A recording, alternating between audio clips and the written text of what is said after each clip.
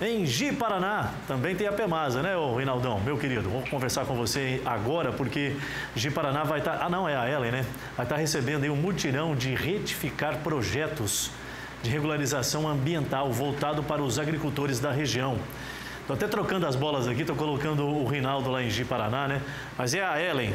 Ô, Ellen, minha querida, Desculpa aí, cara, é porque o cabelinho branco aqui já entrega a idade e aí já está meio pifando o motor, tem que fazer uma revisão. Seja bem-vinda, minha linda.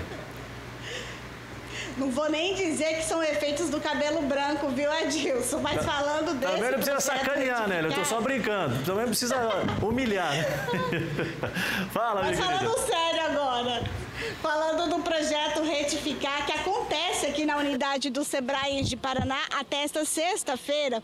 Os produtores rurais aqui do município e da região também, que apresentam alguma pendência de situações, questões ambientais, podem estar procurando aqui o projeto para poder sanar esses problemas ou buscar informações também de como resolver para que eles possam ter acesso ao cadastro ambiental rural, que é um documento que vai regularizar toda a propriedade. E é claro, é um projeto totalmente gratuito e que é voltado para os pequenos produtores rurais. O projeto conta também com a parceria através da Faperon, Sebrae e Sedan. Nós entrevistamos os organizadores do projeto e eles trazem mais detalhes. Vamos acompanhar, Dilson.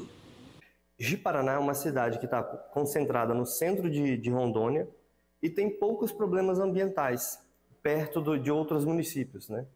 E a gente acha que é muito interessante que o produtor daqui da região busque essa oportunidade de regularização gratuita e prioritária para que ele possa ter acesso a linhas de crédito, para que ele possa comercializar o gado dele de maneira mais tranquila, né?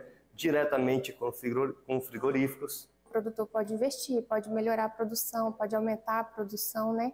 Então, o CAR ele é essencial na propriedade. Isso mesmo, Adilson. Olha, cadastrados na Secretaria Municipal de Agricultura estão uma média aí de 300 produtores rurais, mas a gente acredita que esse número é muito maior aqui na região de Ji-Paraná. Então, todos estão sendo convocados, né, para caso eles tenham alguma pendência, para que possam aproveitar este momento e fazer então essa regularização, ter de posse esse documento que vai possibilitar para que eles possam fazer mais investimentos na propriedade, ampliando também a produção, viu? Eu volto com você aí no estúdio.